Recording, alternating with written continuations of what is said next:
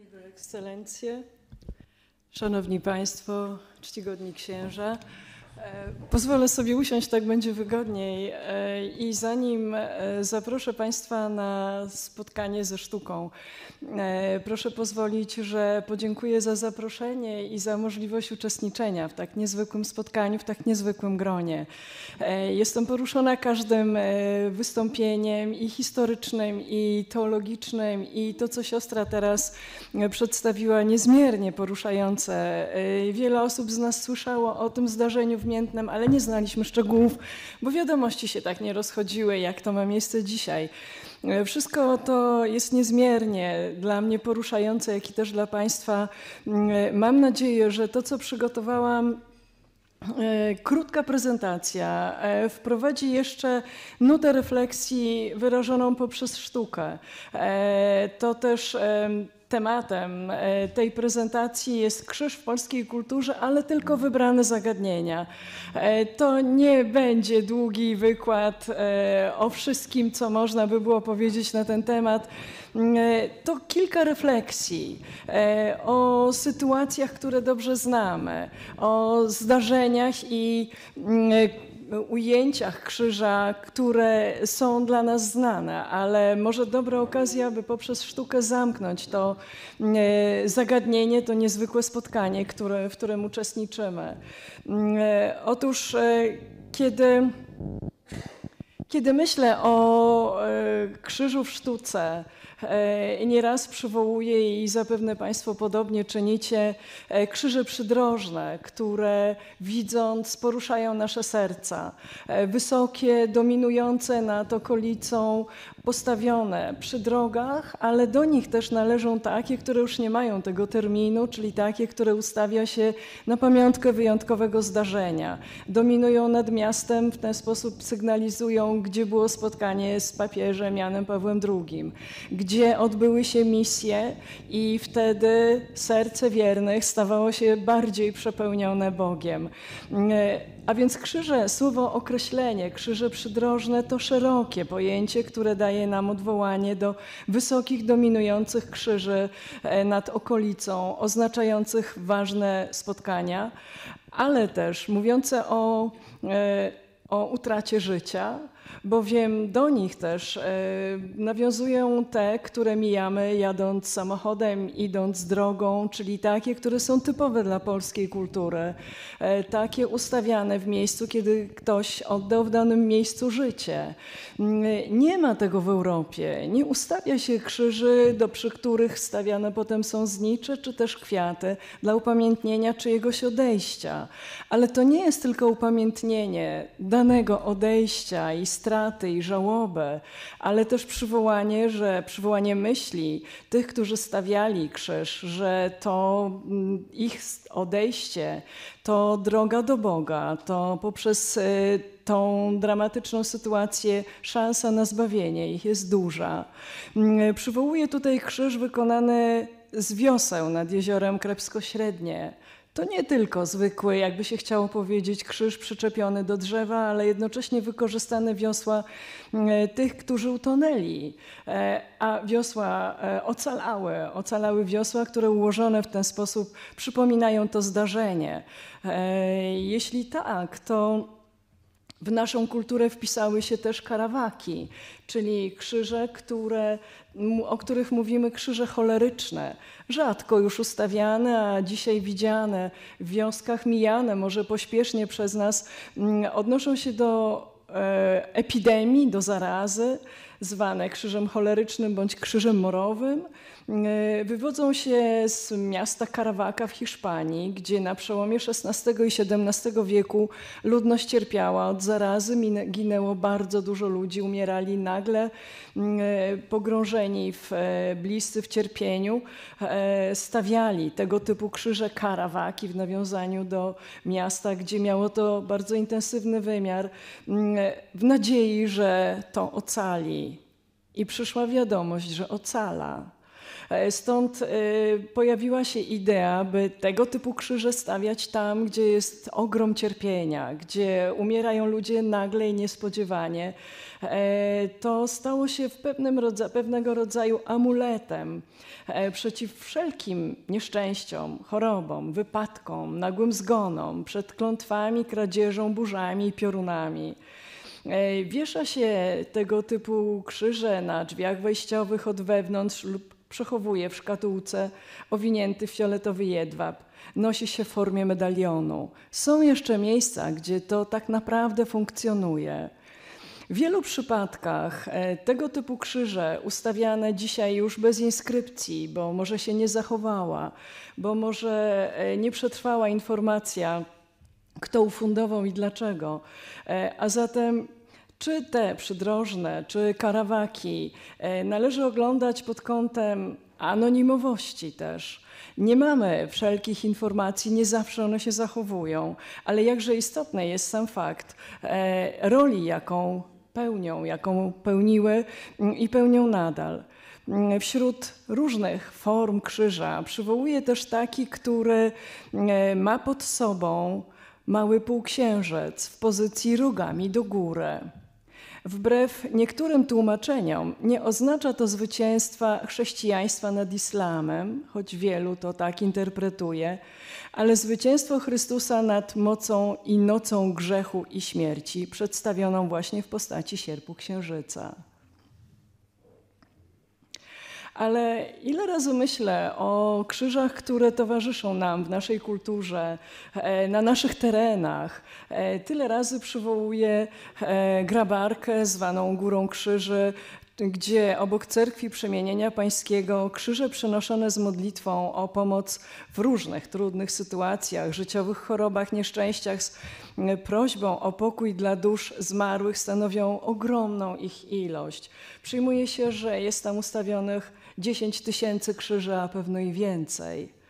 Podobnym miejscem jest też e, mm, e, święta woda, e, gdzie 13 września w przeddzień podwyższenia Krzyża Świętego z białostockiej katedry wychodzi pielgrzymka i niosąc krzyże wieszają potem na tych, które już są. Dla mnie to niezwykle poruszające. Sam fakt niesienia krzyża jest poruszający, tak jak to ma miejsce w pielgrzymkach, to wiemy. Ale jeszcze dołączyć swoje cierpienie do innych cierpień i tak naprawdę w, ułożony w formie krzyża, mm, w ten sposób krzyż jest niewyobrażalną nadzieją na uwolnienie od, e, od bólu, cierpienia, trosk jest niewyobrażalną, e, jak rozumiemy, mm, nadzieją na zbawienie. Ale jeśli mówimy o krzyżach, to niepodobna też, mam wrażenie, nie odnieść się do kamiennych krzyży pokutnych.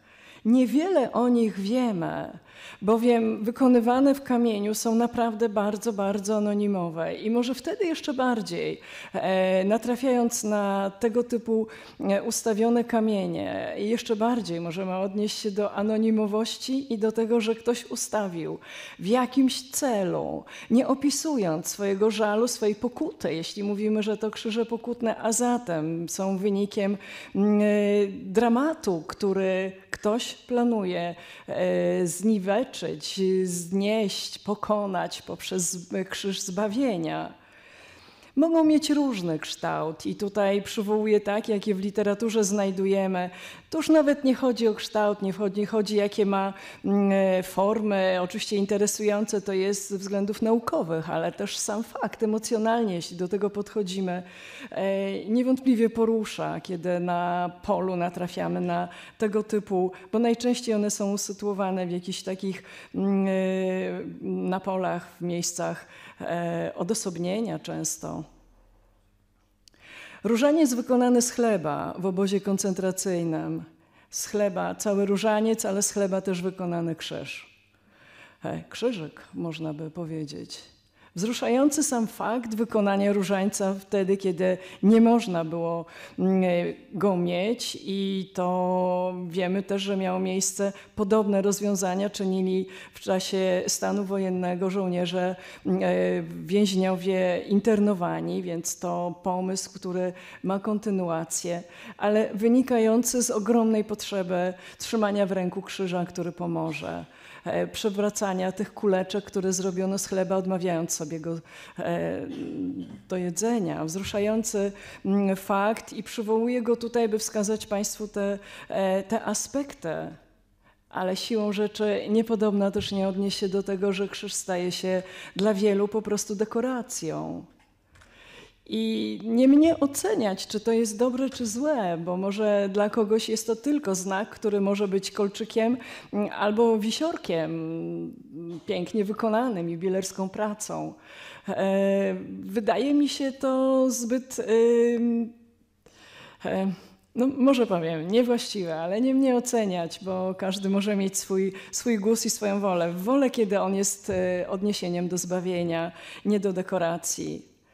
E, wybrałam kilka slajdów, które będą ciągiem dalszym e, pewnych refleksji, które poprzez sztukę przywołują w nas pewne skojarzenia i dadzą informację o tym, jak można pokazać krzyż, by nawiązać do zdarzeń, by wyrazić swoje emocje, by poprzez sztukę e, i wizerunek krzyża mm, dopowiedzieć tak wiele. E, Wiktor Szostało wykonuje pomnik tysiąclecia w Kołobrzegu. Mm, wykonuje wielki monument, który mm, e, zostaje odsłonięty w 2008 roku, a więc nie tak dawno. E, scena, którą tutaj widzimy na wysokim cokole, przedstawia cztery osoby w centrum, harmonijna, symetryczna kompozycja w centrum rozdarty krzyż. Osoby, które decyduje się artysta umieścić, to dwóch papieży: Jan Paweł II z lewej strony i Benedykt XVI z prawej strony.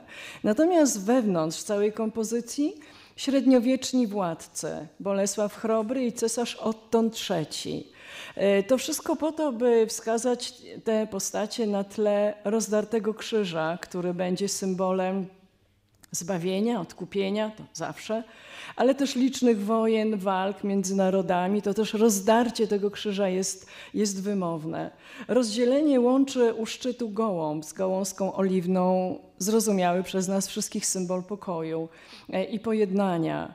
E, to, jak też czytamy na tym slajdzie, upamiętnia przy okazji tysiąc, tysięczną rocznicę ustanowienia biskupstwa w Kołobrzegu, a poprzez swoją formę stanowi symbol pojednania narodu polskiego i niemieckiego, który łączy wspólna, choć nierzadko dramatyczna historia. E, pokazuje ten pomnik, wybierając z wielu innych e, artystycznych, pomnikowych rozwiązań. E, może też dlatego, że za chwilę zobaczycie Państwo, jak można odnieść się do aspektu krzyża w sztuce, w sztuce polskiej bardzo skrótowo to, co widzimy tutaj, buduje narrację, czyli wymaga od widza, wymaga też od nas pewnego wprowadzenia, odczytania znaczenia postaci, połączenia z faktami historycznymi, a więc tworzy się w naszej głowie mm, i w naszym sercu pewna opowieść, dająca e, poprowadzić się poprzez e, artystyczną wypowiedź Wiktora Szostało. Ale jeśli patrzymy na to, co wykonał Daniel Rycharski, tytułując swoje prace na wystawie w Muzeum Sztuki Nowoczesnej w 2019 roku Strachy, to tutaj potrzeba nam naszej wyobraźni, potrzeba nam postawienia sobie pytania, które zachęcam, by zawsze nam towarzyszyło. Czemu to wykonano? W jakim celu e, artysta przedstawia łoże, łóżko, na którym jest krzyż, obok taki brzozowy krzyż, czy też kompozycja, którą widzimy z drugiej strony, gdzie krzyże są ubrane. Zostawiam to bez komentarza, bo wydaje mi się, że wtedy, kiedy nie opowiem, będzie większą dla Państwa e, siłą i mocą e, interpretowanie dzieł sztuki niepodobna nie odnieść się też e, w ten sposób do mm, motywu krzyża w sztuce polskiej, nie przywołując Władysława Hasiora, pokazującego Golgotę i czarny krajobraz. dzieciom Zamojszczyzny, wykonany w 1974 roku. Staje się to dla nas zrozumiałe, choć może szokujące, e, kiedy do dużego wózka wsypuje piasek i robi z e, całej kompozycji grobowy e, monument, e, postument z tych kółek, a całość jest po prostu nagrobkiem. Zapalone świeczki, ustawione krzyżyki dają nam jasne odniesienie do tragedii, jaka miała miejsce mm, w związku z dziećmi za mojszczyznę. Ten sposób odnajdujemy też jakby inną funkcję krzyża, w tym przypadku krzyżyków. To jest odreagowanie traumy wojennej. To jest to, co przeżywał artysta i co poprzez odpowiednią kompozycję ułatwia przeżyć innym. Ułatwia zamknąć pewien rozdział, zamknąć pewien ból po stracie tych dzieci i po w ogóle traumie, jaką wszyscy przeżywawszy wojnę, e, przeżywali, doświadczyli cierpieli z jej powodu. E, kolejna praca z 1990 roku Edwarda Dwórnika, Chrystus i Zoma, odnosi się pięknie do tego, co siostra przed chwilą opowiadała. A zatem krzyż, który jest tutaj po lewej stronie, bo nawet nie w centrum, ale jest dominującym elementem w tej kompozycji. Odnosi się do tego, co siostra jako mm, uczestnik zdarzenia w Miętnem e, przekazywała nam ten dramat, dając swoje świadectwo, przeżyć tych chwil. E, dwórnik też to przeżywał. My wszyscy wtedy to przeżywaliśmy sztuka mogła dołączyć do tych przeżyć. I jak widać, Jezus na krzyżu mm, owinięty jest takimi chorągiewkami biało-czerwonymi, a przed tym krzyżem klęczy uczeń z tornistrem na plecach, więc odniesienie do tego, co słyszeliśmy chwilę wcześniej. E, obok stojący wysoki, znowu dominujący, większy, czyli w takiej perspektywie hierarchicznej tamtych czasów zomowiec uzbrojony po szyję. E, krzyż staje się w ten sposób mm, e, nie tylko znakiem zbawienia, odkupienia. To nie jest tylko z całym szacunkiem do męki Jezusa i do tragedii, jaka miała miejsce 2000 lat temu, ale staje się tutaj razem z postacią, która kona na krzyżu, mm, nośnikiem treści narodowych, patriotycznych, odwołuje się cała ta kompozycja, jak i krzyż, który tutaj dominuje do polskości, jest wyrazem splotu tradycji katolickiej i narodowej, znakiem niezgody wobec komunizmu, wobec reżimu, który e, zabija wolność. Niepodobna przy tej okazji nie odnieść się do tego, co większość z nas pamięta, choć młodzi tylko z opowiadań, jak układane były w Warszawie krzyże z kwiatów na placu, gdzie modlił się Jan Paweł II, na placu Zwycięstwa. On dzisiaj wygląda inaczej, będzie za chwilę wyglądał inaczej, bo odbudowywany jest tam Pałac Saski. Ale to miejsce, gdzie była msza święta, zbierająca warszawiaków, sprawiała, że co noc układano e, kwiaty, które potem e, zostały zbierane. Każdego dnia i każdej nocy powtarzali to warszawiacy, że ten krzyż ma przypomnieć o ważnym spotkaniu i nie wolno tego zmieniać. Jeśli były zabierane te kwiaty, następnym razem, następnego dnia znowu warszawiacy układali te e, kwiaty symbolicznie odnosząc się do sytuacji, do wolności, do pragnienia wolności. Kwiaty, które są cząstką utraconego raju. Przywołuję tutaj pracę Andrzeja Wróblewskiego z 1956 roku Nagrobek. E, praca, która jest w Muzeum Sztuki Nowoczesnej w Warszawie, jakże w sposób skrótowy, bez tej narracji, o której mówiłam, pokazując pomnik z Kołobrzegu. Skrótowo przedstawia e, odwołując e, odbiorcę do postaci, które są mm, do których odnoszą się owe nagrobki. E, patrząc na tę pracę, odnoszę się w wyobraźni do e, zaznaczonych miejsc pochówku z literami NN. E, żołnierzy, powstańców, którzy nie zostali określeni, więc dzisiaj wchodząc na cmentarze wojenne, nie zawsze wiemy, kto jest tam pochowany, ale tam zawsze ktoś jest. Więc mam wrażenie, że do tego jest tutaj nawiązanie powiązanie, to znowu po jakby rozliczenie się z tą traumą, że to nie jest bezosobowe. E, to zawsze jest jakaś opowieść o danej osobie, nawet jeśli jest tabliczka NN. Podobnie jak i tutaj, kiedy w postać wpisane są krzyże i w ten sposób e, odnoszące się do zbawienia, do odkupienia, do utrapienia, z którego można wyjść, wiedząc i wierząc w Jezusa.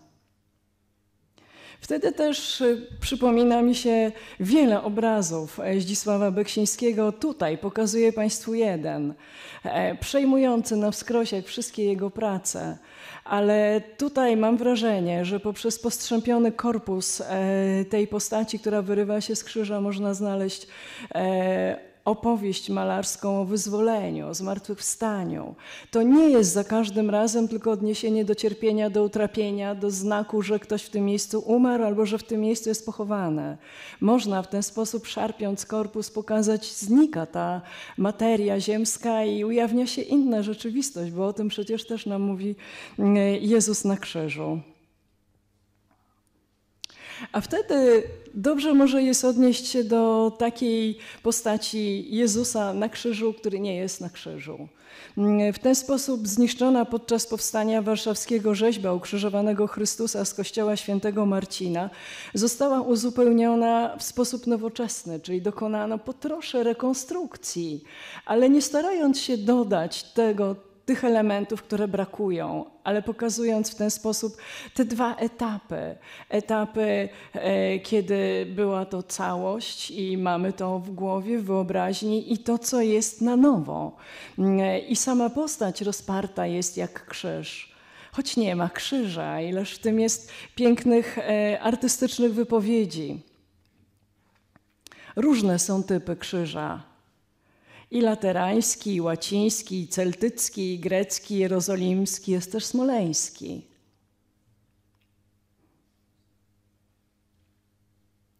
Chcę jeszcze przywołać takie krzyże, które mm, na przestrzeni wieków przybierały różne formy i pełniły różne też funkcje. E, w VI wieku w Europie pojawia się forma krzyża relikwiarzowego. Pokażę dwa, takie, które są charakterystyczne dla naszej sztuki, choć ich jest wiele w Europie. Tym razem e, zobaczmy takie, które wykonywano w XIV-XV wieku. Są przykładem sztuki średniowiecznej. Mm, często służyły do ustawienia na ołtarzu, służyły jako pacyfikały bądź krzyże procesyjne. W niektórych z nich, oprócz cząstek krzyża, umieszczano też inne relikwie. To może być dla nas interesujące pod względem złotniczym, ale też i teologicznym, kiedy patrzymy na krzyż relikwiarzowy z kościoła świętego Jakuba w Toruniu, wykonany na początku XV wieku. Wybitnie dzieło artystyczne gotyckiej sztuki złotniczej. Z czasów, kiedy wydaje nam się, że średniowieczna Europa e, była mroczna, niepiśmienni ludzie e, nie zostawili wielu e, świadectw swoich talentów czy złotniczych arcydzieł. To nieprawda, bo to kolejny przykład, e, kiedy patrzymy na sztukę tamtych czasów, e, przykład do zachwytu. E, pochodzi z kościoła świętego Jakuba na Nowym Mieście w Toruniu, choć pierwotnie mógł być w dominikańskim kościele świętego Mikołaju, Mikołaja. Obecnie jest w Muzeum Diecezjalnym w Toruniu. Wykonano go niewątpliwie pod wpływem inspiracji dzieł nadreńskich, podpatrując tam sposób, sposób jubilerski inkrustowania kamieniami szlachetnymi, wewnątrz wypełniając czerwonym suknem to tło dla relikwii. A zatem na krzyżu nie tylko może być postać Jezusa z całym szacunkiem do owej historii, którą w ten sposób odczytujemy. E, w tej kapsule w centrum e, krzyża, na miejscu łączenia e, tych ramion, mogą być też relikwie świętych. Wtedy mówimy o krzyżu relikwiarzowym, czyli zbawienie tych wyniesionych na ołtarze mogło mieć miejsce tylko do, dzięki temu, że Jezus dokonał zbawienia na krzyżu doskonałej klasy medaliony na ramionach krzyża z plastycznie wykonanymi postaciami ewangelistów. Do tego jeszcze zwierzęta i aniołowie wykonane naprawdę mistrzowsko i bardzo precyzyjnie.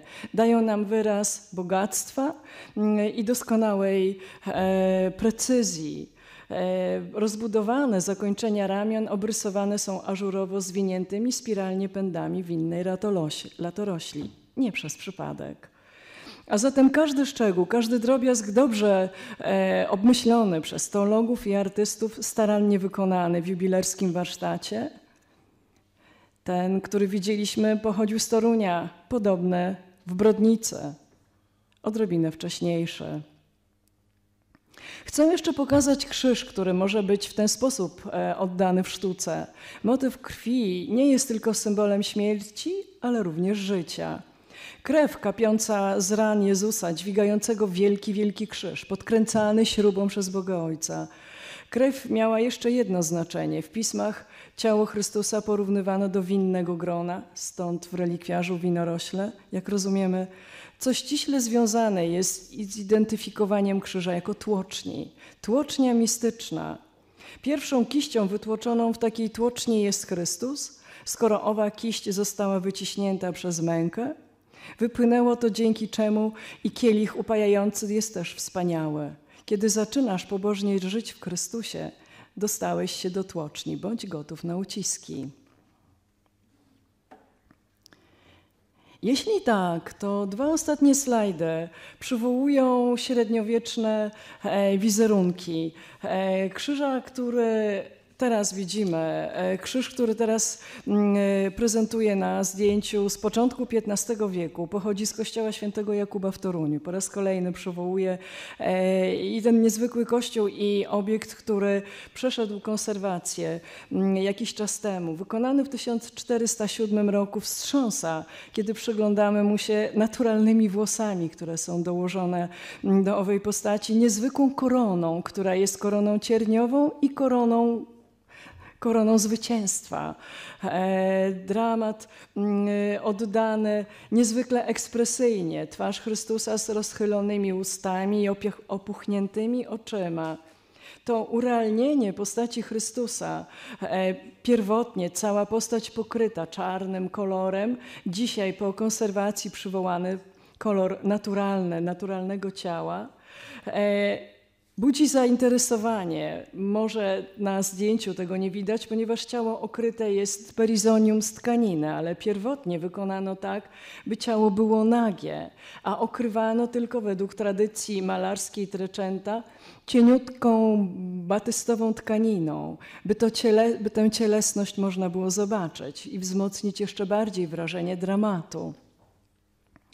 I na koniec przywołuję jakże podobny wizerunek. E, krucyfiks, tak zwany krucyfiks baryczki. E, przywołuję go, bo niepodobna, będąc w Warszawie, nie wstąpić do katedry, by nie pokłonić się e, krucyfiksowi Jezusowi, który w tej kaplicy mm, od lat jest prezentowane. Dla warszawiaków to niezmiernie ważne miejsce. Modlili się przed tym krucyfiksem królowie, prezydenci, papieże. Jest jednym z nielicznych, przepraszam, jest jednym z nielicznych późno-średniowiecznych zabytków stolicy. Według legendy przywiózł go z Norymbergi w 1539 roku rajca Baryczka, chroniąc go przed zniszczeniem przez protestantów. E, tam, według przekazów, na głowie Chrystusa rosły prawdziwe włosy. Mamy nawiązanie do tego, co widzieliśmy w Toruniu. Ta tendencja, która dzisiaj już nie istnieje, nie funkcjonuje, nie urealniamy w ten sposób postaci Jezusa na krzyżu, w średniowieczu to czyniono, w Europie w wielu miejscach miało to mm, e, ten fakt zdarzenie. Więc jest tutaj bardzo realistycznie poprzez te włosy, e, czy rosły już wiemy, że to tylko mit, e, ale poprzez te włosy wyglądał niezwykle sugestywnie. E, do, tego, e, do tej postaci przypisana jest pewna anegdota, którą chcę Państwu mm, e, przedstawić. Otóż w czasie powstania warszawskiego został zdjęty Jezus z krzyża, jako że otoczony tak wielkim szacunkiem obawiano się, że może nie przetrwać e, pożaru i zdjęto go ze ściany, przeniesiono do podziemi kościoła dominikanów. W podziemiach odkręcono też ręce, ułożono go, ponieważ są mm, do, dodane, więc ułożono go przykrywając płaszczem wojskowym. Leżał na posadzce, e, tak jak leżeli też e, ranni tam, w tamtym miejscu, jeden obok drugiego, obok nich Jezus. Mm, wśród tych rannych przechodził ksiądz, który mm, bywał tam, spowiadał, udzielał ostatniego sakramentu. Pod y, ścianą, jak opowiadał, spostrzegł leżącą postać przykrytą żołnierskim płaszczem. Mm, zapytał leżącego, czy może chce się wyspowiadać. E, nic nie usłyszał, dotknął i zobaczył, poczuł, że jest taki zimny, twardy, martwy zapewne. Chciał udzielić ostatniego namaszczenia i wtedy zobaczył, że to Jezus. Wzruszająca chwila, e, którą e, opowiedział ów ksiądz, stała się wyznacznikiem i siłą, o której tutaj mówię. Krucyfiks wrócił do jeszcze leżącej w, w, ruinach katedry w 1948 roku w Niedzielę Palmową. Wykonany z drewna polichromowany, jak przypominam, niezwykle ważny element, niezwykle ważny eksponat dla warszawiaków, mm, zachwycający prawidłowo oddaną anatomią, e, gromadzący wokół siebie od lat e, warszawiaków i w ogóle Polaków. Przywołałam w czasie tej prezentacji kilka obiektów, bo jak obiecałam, to tylko wybrane zagadnienia. E, by dać Państwu ten, e, tę nutę refleksji, co można wyrazić poprzez sztukę, jak można sugestywnie przedstawić Jezusa, dokładając mu mm, odpowiednie atrybuty, by było wrażenie, że naprawdę tam wisi, że naprawdę na krzyżu kona przy nas, czy też skrótowo, poprzez kilka linii, kilka kolorów. Mam nadzieję, że tą krótką prezentacją dopełniłam niezwykłych e, opowieści i teologicznych, e, i historycznych, e, i tych, które siostra wypowiedziała, dając pełnię doznań, jaką możemy mieć w czasie tego kongresu. Dziękuję.